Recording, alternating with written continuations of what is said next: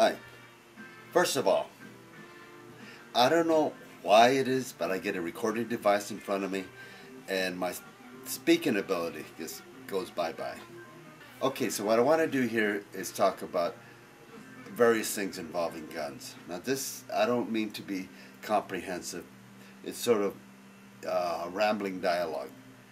But you might say, um, I'm trying to speak fact to fiction the fiction that's put out by the pro gun people. So here we go. I chose this image as a visual representation of the attitude of the ardent gun advocates in regard to the opposition. You are the enemy, so take that. In other words, they have zero interest in dialogue. For them, it is a war of words, and whatever it takes to win, they're willing to do it. Moving on. They very often claim that gun controls do not work. Now, admittedly, gun control laws are not the only factor affecting crime rates. But gun violence did take a dive after the Brady Act of 93, which required background checks, and the assault weapons ban of 94. You know, at the very least, these gun control acts did not increase the violent crime rate. You know, the criminals did not go on a wild crime spree because of, you know, as it would suggest, uh, disarmed citizenry. Uh, in any case, who knows how many crimes could have been prevented if these extra deadly firearms had not been allowed to enter society in the first place. Next, they have the argument that goes something like this. Since you can't specifically define assault weapons, they don't really exist. I say, oh really? Basically, assault weapons are semi-automatic civilian versions of the carbines used by the military. These guns are optimized for battlefield conditions.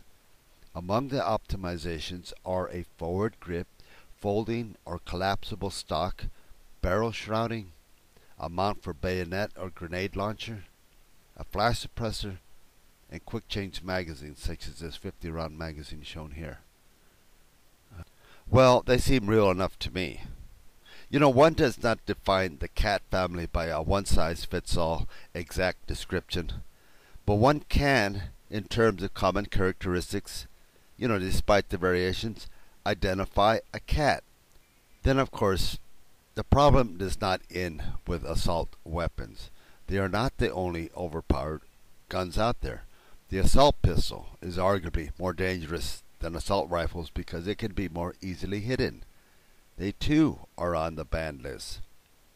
And then you have sniper rifles, like the Remington 700, uh, a favorite of uh, law enforcement snipers, or the Carcano gun, as was used by Lee Harvey Oswald.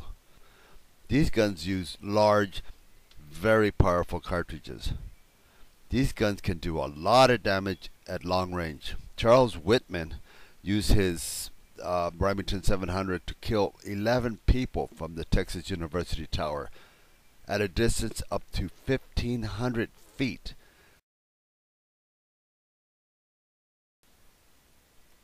Another thing, they imply that more guns will make us safer.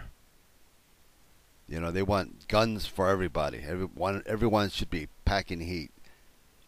Well, if, if guns did make us safer, then we, with the highest gun ownership rate in the world, should have the lowest violent crime level in the world, which we don't.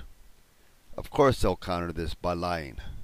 But anyway, the truth is we have a middling rate, but it is high for advanced nations with effective law enforcement.